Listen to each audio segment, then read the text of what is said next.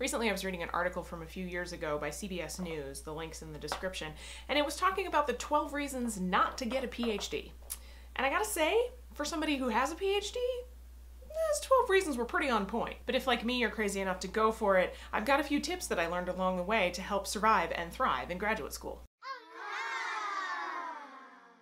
First and foremost, go to graduate school because you know that you'll like what you're going to be studying, at least a little bit. Otherwise, it will be pointless and excruciating. So, when I decided to apply for a PhD program, I was a senior in college. I had just recently come off a summer of a research experience for undergraduates program here at the University of Minnesota, where I worked with a professor who would eventually become my graduate student mentor. I remember just really liking the process of research. I grooved on the excitement of discovery and learning new things. And I think if I had gone to graduate school without knowing beforehand that I really liked research, that it might not have gone as well for me. Go when it makes sense for you. I didn't take any time off between college and graduate school, which has its positives and negatives. If I had it to do over again, I probably would have at least paused to consider what options I would have had had I decided to take a year off in between. But as it was, graduate school was the next logical step, and so to graduate school I would go. I also had the benefit of getting into a program that pays their students to attend graduate school and to work for research labs. I know a lot of people don't have this opportunity, and money is a really important thing when you're thinking about whether or not to go to graduate school. And as much as I wish that going to graduate school meant that you were going to automatically be able to make it rain with money, yeah, it's not how it works. You will feel dumb sometimes, and that's okay. So does everybody else. Throughout my graduate career, I felt really dumb a lot. And it's impossible not to compare yourself to the others around you, no matter how unreasonable that may be. And it really sucks feeling less competent or intelligent than the other students in your program. And then there are the professors who rip apart your writing, in fairness with good reason, and then they ask you to rerun eight statistical models with slightly different variables and look at you the whole time like you're a complete fool for not thinking of this in the first place. That really sucks too. But it's also good to remember that the students around you also feel dumb sometimes and have to rewrite their papers too. It's just a fact of graduate student life. Bond over that. It helps. So does wine. The tunnel is the worst part, but believe that you will get through. I like to refer to years two and three as the deep dark tunnel years. Basically, at this point, you're so far into your program that you can't see the light behind you, and you also can't see the light at the end of the tunnel either. You're questioning everything about yourself and your decision to embark on this crazy journey in the first place. You're being constantly edited and changed and corrected and pushed and pulled and pressured in so many different directions. You don't feel good at much of anything anymore, and you wonder if you're ever going to get out or if you should just jump ship. And I cannot stress this enough. This is normal. Don't feel like you're not smart enough or talented enough or committed enough if you start to question whether or not you should continue your graduate career. Listen to that feeling and sit in that uncertainty. And then talk to all the people around you from different walks of life about what they recommend that you do.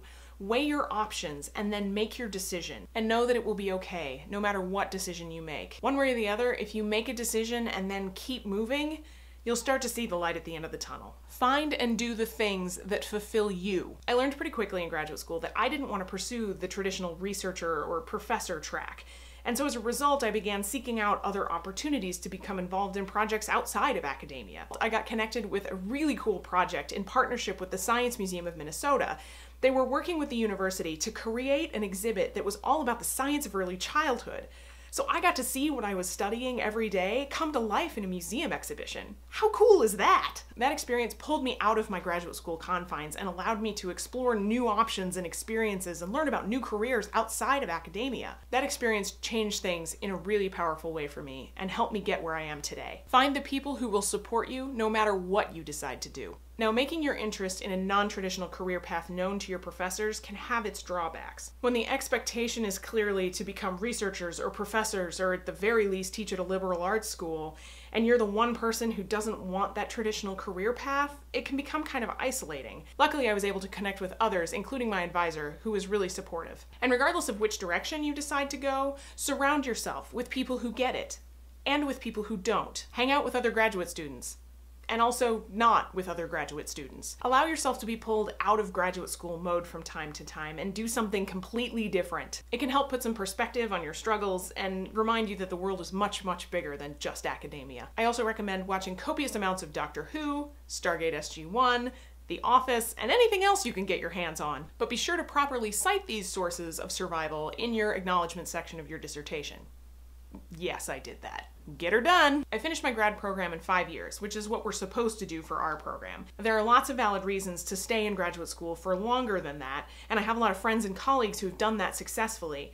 But I knew that for me, I needed to get out and move on. And I know that the academic job market is really tight right now, and in non academic careers, sometimes graduate students don't have the requisite work experience in order to get a job. And that really sucks. But this is where networking comes in. Reach out to anyone that you know for informational interviews, cups of coffee, happy hours, whatever. You'd be surprised how much inspiration and new leads come from just a brief coffee conversation. There are also several really great online communities that talk about career paths after graduate school. And if you want to talk with somebody who gets it, contact me. I'm always happy to answer questions and talk options. Own your worth. Getting your degree is a really cool and exciting experience. You should embrace that. But for me, at least, the few months after I graduated were times of really important and powerful self reflection and discovery for me. Let's get real for a second. Graduate school can be really tough. It's a process of breaking you down to build you back up again. And it can leave you feeling pretty incompetent and like you're never going to measure up to the professors that you work with every day. For me, I had really internalized that I would never measure up, that I wasn't smart enough or talented enough or skilled enough that I was never going to be the best at anything. So in the months following graduation, when I got out into the real world, I had to learn how to accept and embrace my own competency and knowledge again. I had to relearn that my knowledge and experiences and expertise had value and could better the world in some way. Because really, what a doctorate gives you is the ability to learn new information and synthesize it and analyze it and then communicate about it knowledgeably. And these are really important and valuable job skills. And once I had that realization, the whole experience really became worth it for me. Now, are there other ways to get these kinds of skills more cost effectively? Yes. Would I recommend graduate school for everyone? No. Do I think that the things we expect of graduate students are more than just a little bit unreasonable? But I've come to recognize that, for me at least, the purgatory of graduate school was really worth it in the end. What about you? Are you contemplating graduate school? In the midst of it? A newly minted graduate school survivor? Share your thoughts on the whole graduate school thing in comments and give your tips and strategies for how to survive. For any new visitors out there, hi! I'd love it if you came back. And for those of you who watched my last video, I know I said I would talk about trees and contexts, but I decided to do something different, so sue me. But don't actually sue me. To the two of you who are dying to see that video, it'll be coming out in a few weeks. Promise!